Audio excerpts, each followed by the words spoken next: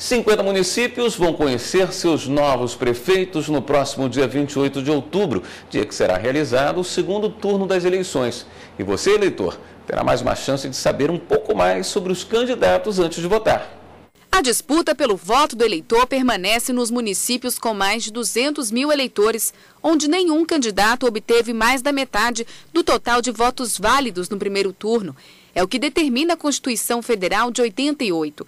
No total, 100 candidatos a prefeito de 50 cidades, incluindo 17 capitais brasileiras, concorrem ao segundo turno das eleições. Com intervalo de 20 dias entre o primeiro e o segundo turno, o eleitor tem mais uma oportunidade para conhecer melhor os candidatos antes de decidir o voto. Isso porque as campanhas eleitorais no rádio, na televisão e na internet já começaram.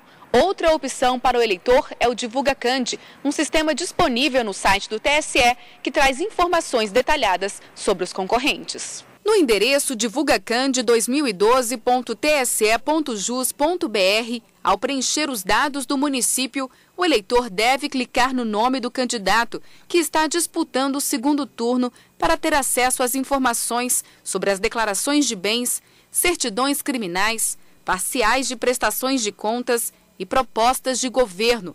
Também estão disponíveis dados da coligação e informações a respeito do candidato a vice-prefeito.